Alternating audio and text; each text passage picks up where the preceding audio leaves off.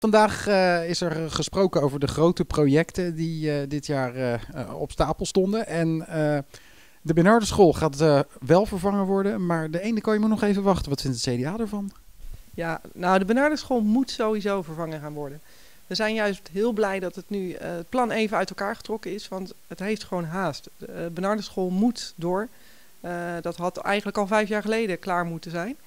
Dus ja, weet je, daar is geen keuze. En we zijn eigenlijk heel blij. Ja, we zitten met een hele grote geldpuzzel. Uh, we missen een aantal miljoenen om alle plannen te doen. Dus we zijn eigenlijk blij dat dit er in ieder geval uh, nu doorgang vindt. Zodat we even de tijd nemen om alle andere plannen uh, te heroverwegen waarschijnlijk. De Haasbroek in combinatie met de sporthal. de sporthal die nu de Klaverhal is, die gaat over naar Haasbroek. En gaan we Haasbroek gaan we herindelen. Er komen ook nieuwe, nieuwe bewoners. En de, het grote project, uh, het maatschappelijk centrum uh, aan, aan, de Rijndijk.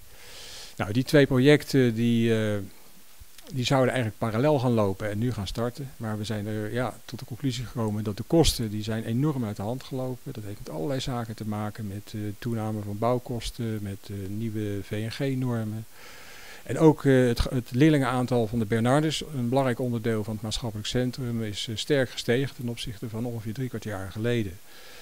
Ja, en dat leidt tot e extreem meer kosten dan uh, de vorige keer uh, toen, we, toen we op 20 miljoen uitkwamen bij de projecten. Dus we moesten op een gegeven moment uh, gaan kijken van nou, hoe gaan we nou die kosten terugdringen? Anders krijgen we kapitaallasten die we niet aankunnen van ongeveer een miljoen per jaar over drie jaar. En toen zijn we tot de conclusie gekomen, we gaan in ieder geval dingen faseren. misschien ook keuzes maken in, in die twee projecten. Nou, dat, dat hebben we voorgelegd vandaag aan, aan de raad. En uh, dat betekent in ieder geval dat we beginnen met de Bernardus. Die heeft echt uh, grote prioriteit. Dat is de basisschool aan het uh, maatschappelijk centrum. En we gaan de ene kooi nog een tijdje voor ons uitschuiven. Dan gaan we een later datum bekijken of we die gaan vernieuwen. Die kan nog heel goed mee. Die is in een goede staat van, van onderhoud. dus Bernardeschool kost 7,6 miljoen. Alleen staat er dan niet ingespecificeerd waarom het precies 7,6 miljoen kost. Welke aannames zijn er gemaakt?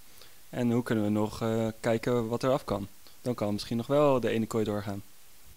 Ja, want uh, daar heeft progressief Zoeterwoude nog wel uh, vertrouwen in dat dat misschien gaat lukken. Um, uh, heeft de wethouder een, een, bevredigend antwoord gegeven? Krijgen jullie inzicht in die cijfers? Op het moment nog niet, maar de wethouder heeft wel toegezegd dat ik een keer bij het gemeentehuis langs zou komen om die cijfers wel even goed onder de loep te nemen.